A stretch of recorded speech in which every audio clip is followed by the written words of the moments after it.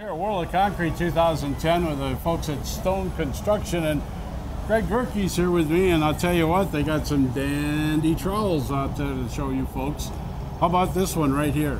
Well, Roger, this is our 36 inch trowel. Now, this is our standard unit. Okay. Um, a little heavier than what the competition offers, Okay. but the competition also offers a weight kit on it to help get the, the, the proper finish. Yeah. With this one, you don't have to. But for customers that really like a lighter trowel, we also make one that's 21 pounds lighter than this. We call it our 36L, and that actually meets right up with the competition's weight factor.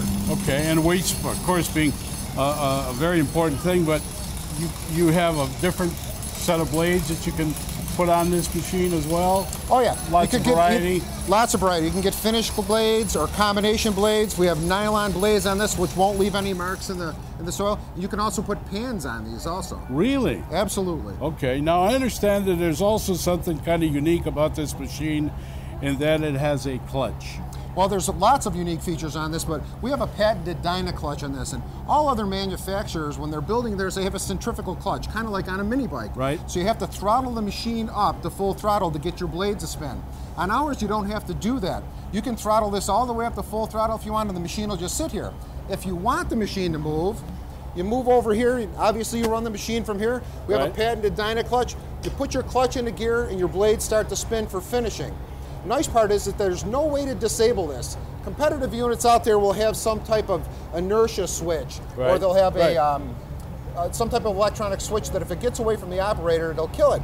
Well, uh, contractors can actually disengage that, and it actually makes the machine very unsafe. On this, we guarantee if this gets away from the operator, that with one revolution, just from the inertia of the swing, it'll kick out this DynaClutch, yet the engine remains running, and the operator can come right back to the machine, kick the clutch back in, and he's right back to finishing right where he stopped. See, to me, if I were a consumer of this, that would be a very important facet for me to consider. Oh yeah, for liability purposes, that's very, very tough to Certainly. beat. And, and for the operator too, as well as, you know, comfort and safety. Absolutely, absolutely.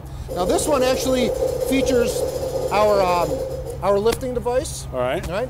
And the competition on their pitching device or Right, quick pitching right. device, they use a geared tooth on there. And a lot of times, I mean, contractors are big guys, but you got to really bull that up Yeah, there. yeah. As opposed to ours, you can lift ours up with two fingers. Even on our 48 inch one, you can lift it up with two fingers, and it's infinitely Really? adjustable.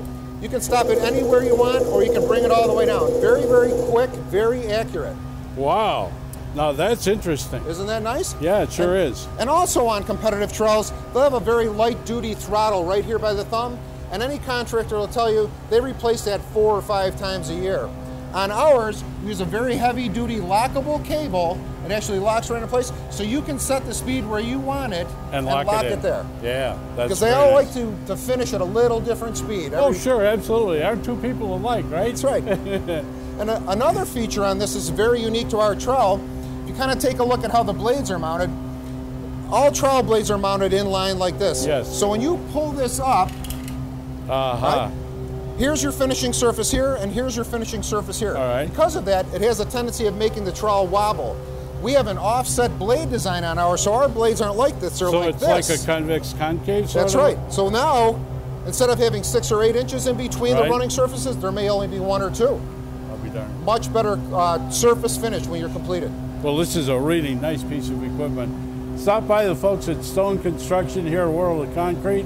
Greg Gerke's one of the guys, and if not, give them a call. Stone Construction, and you'll find them there on the web and the phone book. The distributors, their equipment, they're all over the place. Thanks a lot, Greg. Roger, it was a pleasure. Thank you Appreciate for it. coming back. Thank you.